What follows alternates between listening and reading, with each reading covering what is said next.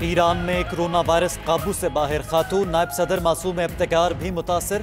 قومی سلامتی کمیٹی کے چیئرمین، نائب وزیر صحت اور ایک رکن پارلیمنٹ پہلے ہی متاثر ہو چکے۔ تہران سمیت تئیس شہروں میں نماز جمعہ کے اجتماعات پر بھی پابندی عائد کر دی گئی۔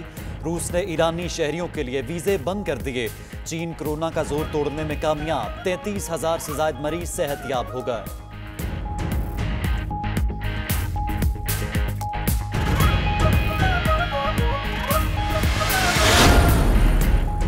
سعودی عرب نے عمرہ اور زیارت پر عارضی پابندی لگا دی۔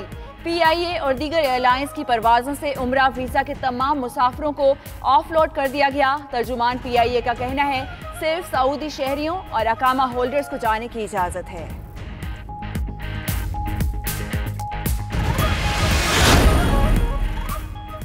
عالمی سٹاک مارکیٹوں کو چھٹے دن بھی خسارے کا سامنا۔ امریکہ اور یورپ میں انڈیکس دس فیصد سے زیادہ گر گئے۔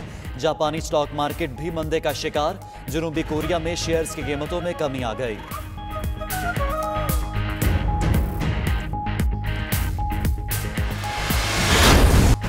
کرونا وائرس کا خطرہ سندھ حکومت کا ایران میں موجود پاکستانی شہریوں کی واپسی رکوانے کا فیصلہ۔ ایران کے ساتھ براہ راست فلائٹ آپریشن بھی بند۔ حالیہ دنوں میں ایران سے آنے والے پندرہ سو افراد کی سکریننگ کا فیصلہ۔ ڈیٹا متعلقہ اجزاء کو ارسال وزیر اعلیٰ سندھ نے کرونا پر کنٹرول کے لیے ٹاسک فورس بنا دی۔ ادھر کرونا کے مریض کے اہل خانہ سکریننگ میں کلیئر قرار۔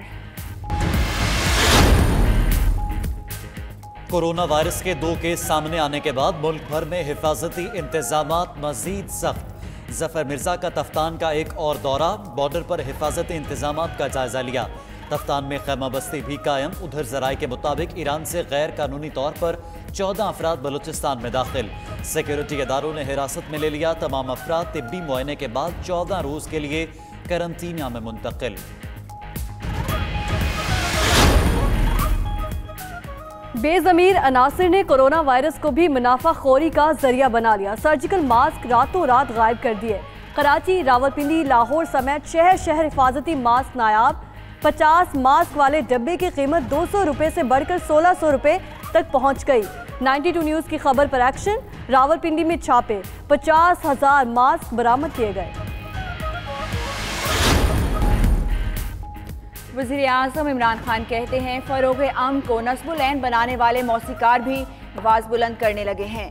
دنیا پر بیداری واجب ہو گئی۔ اقوام عالم اپنا فرض نبھائیں اور بھارتی بربریت کا نوٹس لیں۔ تاریخ کے صحیح رخ پر کھڑا ہونے کا یہی وقت ہے۔ وزیر اعظم قطر کے ایک روزہ دورے کے بعد وطن واپس پہنچ گئے۔ عمران خان نے امیر قطر تمیم بن حماد سے ملاقات کی۔ وفود کی سطح پر بھی بات چیت ہوئی۔ دو طرفہ تعلقات، علاقائی اور عالمی امور پر تبادلہ خیال۔ سماجی اور معاشی شراکت مزید مضبوط کرنے پر اتفاق کیا گیا۔ وزیر اعظم نے امریکہ کے معاہدے میں قطر کے کردار کو سراہا۔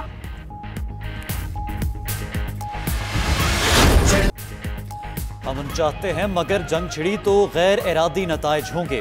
D G I S P R major general Babar Iftikhar کی میڈیا کو بریفنگ کہا۔ گزشتہ سال دشمن نے سرپرائز دینا چاہا، مگر خود سرپرائز ہوا اور ناکام رہا۔ بوکلاہٹ میں اپنا ہی ہیلی کاپٹر بھی گرا بیٹھا۔ دشمن کی ہر سازش سے آگاہ اور ہر وقت تیار ہیں۔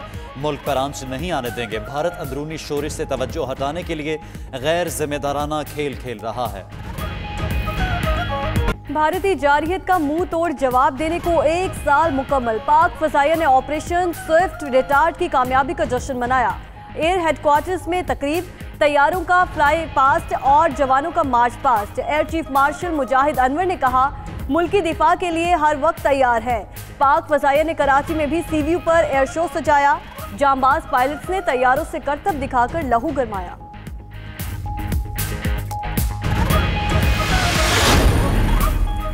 میرا استعفیٰ مانگنے والے پاکستان بار کونسل کے بیشتر لوگوں کا تعلق اپوزیشن جماعتوں سے ہے۔ وزیر قانون فروغ نسیم کے پروگرام نائٹ ایڈیشن میں بات چیت بولے، وہ وزیر نہ ان کے کہنے پر بنے ہیں اور نہ ان کے کہنے پر استعفیٰ دیں گے۔ مزید کہا وہ عدلیہ کو کس طرح تقسیم کر سکتے ہیں۔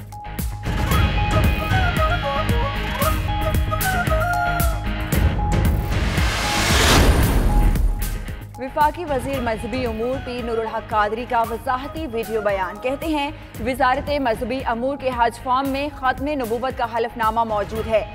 بینکوں سے ملنے والا صرف ڈیٹا فارم ہے۔ آزم حج وہی کہلائے گا جو ختم نبوت کے حلف نامے پر دستخط کرے گا۔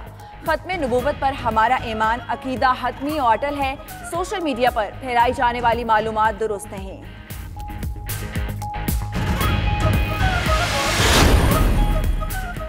پاکستان اور آئی ایم ایف کے درمیان سٹاف کے سطح پر معاہدہ طے۔ دوسرے اقتصادی جائزہ مذاکرات کامیابی سے مکمل۔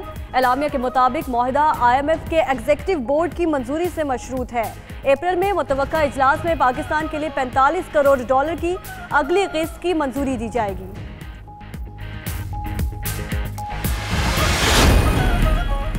پی ایس ایل کے سنسنی خیز مقابلے جاری۔ آج ملتان سلطانز اور کراچی کنگز، لاہور کلندرز اور پشاور زلمی میں جوڑ پڑے گا۔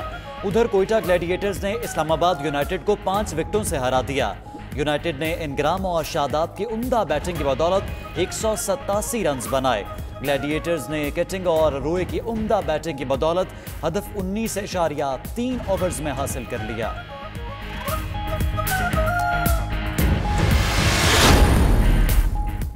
کینیڈا شہزادہ ہیری اور میگن مرکل کو سیکیورٹی فراہم کرنا بند کر دے گا۔ کینیڈین حکومت کی تصدیق، کینیڈین پولیس شاہی جوڑے کو ملک میں آمد پر انہیں سیکیورٹی فراہم کرتی ہے۔ شاہی جوڑا اکتیس مارچ سے اپنا عہدہ چھوڑ رہا ہے۔